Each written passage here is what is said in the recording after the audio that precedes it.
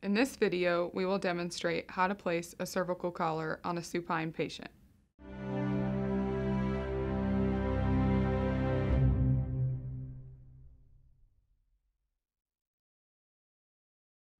A cervical collar is used when a cervical spine injury is suspected.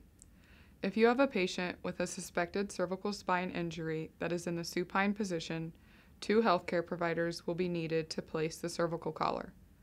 In the pre-hospital setting, a cervical collar would be placed prior to the transfer of the patient to the hospital.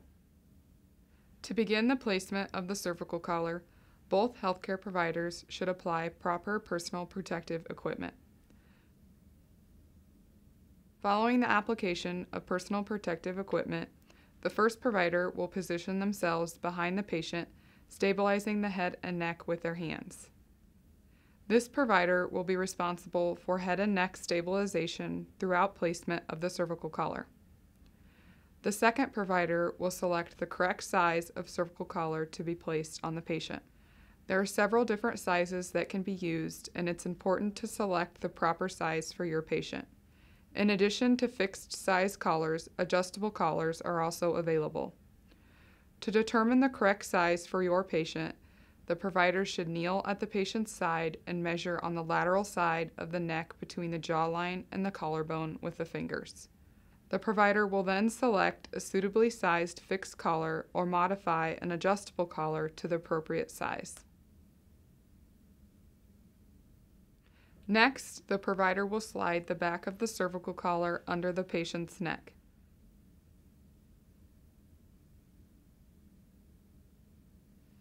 They should then align the chin piece with the patient's chin. Once the cervical collar is in the correct place with the chin piece aligned, secure the collar using the Velcro strap. It is important to perform an assessment of the patient's airway status after placement of the cervical collar. The collar should not be obstructing the airway or causing the patient to have a difficult time breathing. If the collar is found to be obstructing the patient's airway, or if the patient is having difficulty breathing due to the collar's placement, the provider should adjust the collar and reassess. It is important the chin piece of the cervical collar is not hyperextending the neck. If this has occurred, the cervical collar is too big for the patient. The provider who is maintaining head and neck stabilization will do so until the patient is fully immobilized. Providing full spinal immobilization is currently the recommended practice for all trauma patients with a suspected cervical spine injury.